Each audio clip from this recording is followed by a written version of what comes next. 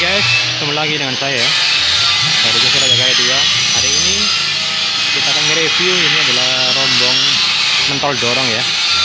Atau cilok dorong Ataupun bakso dorong juga bisa ya. Terserah anda nanti buat jualan apa. Ini panjangnya 120 cm kawan ya. Lebarnya 50 cm ya. Lihat. Luar biasa cantik ya coba dalam.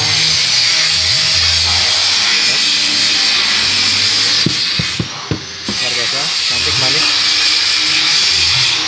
Ini ada list ya list khusus untuk dandangnya ya biar yang ngelupain tangan.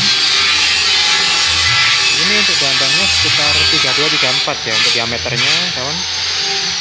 Dalamnya ada tatakan untuk kompor ya. Tatakan kompor lihat kita kasih.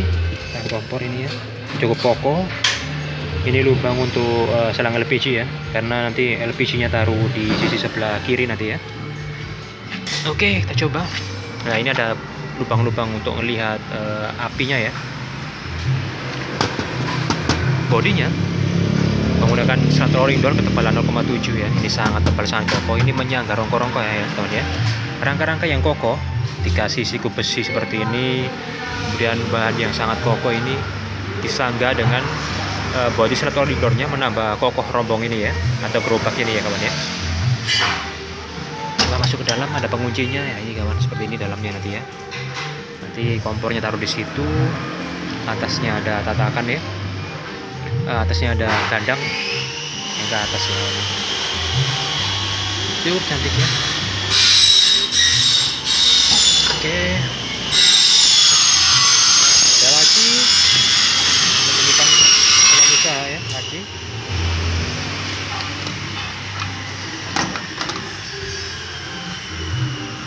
kemudian ini tempat untuk uh, saus sausnya kawan ya saus bumbu sambal sambal ya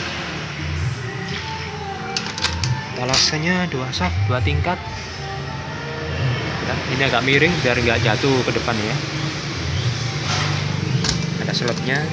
Untuk sini. Ini inspirasi dari CV Negara 2 tentunya ya.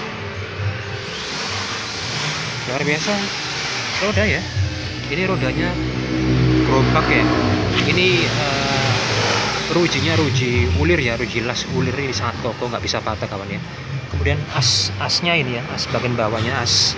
Asnya itu menggunakan as besi ulir juga kawan. Nggak bisa patah juga insya Allah ya. Ini bagian belakangnya ini menggunakan uh, roda 6 inch ya atau 5 in ya. rodanya luar biasa ya.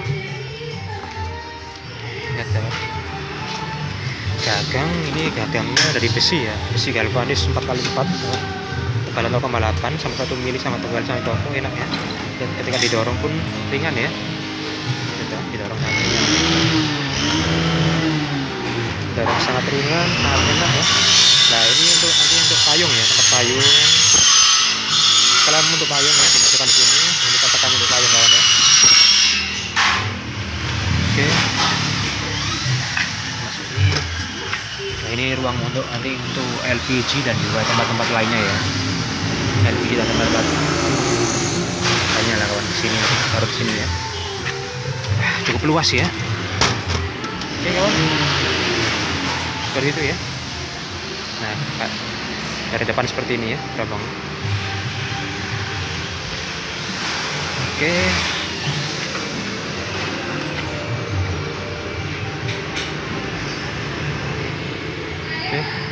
kita sambung next video berikutnya ya.